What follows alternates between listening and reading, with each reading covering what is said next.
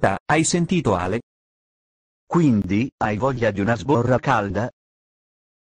Dai, vieni sopra. Ecco Ale. Allora, com'è andata con la MILF? Spettacolo.